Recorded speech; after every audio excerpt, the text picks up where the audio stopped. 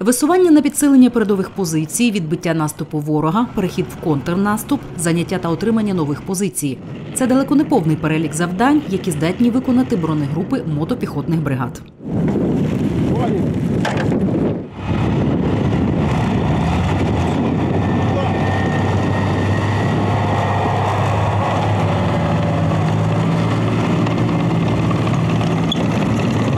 Відпрацьовано марш в колоні та розгортання е, е, е, бойових машин, також заняття вогневих рубежів.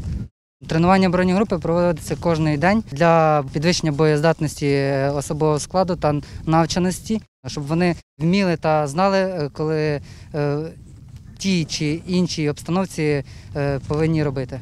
Перебування підрозділу у зоні відведення аж ніяк не означає, що військовослужбовці позбавлені відповідних вмінь і навичок, адже тренування з особовим складом постійні і насичені. Цього разу захисники відпрацювали поставлені завдання злагоджено і чітко.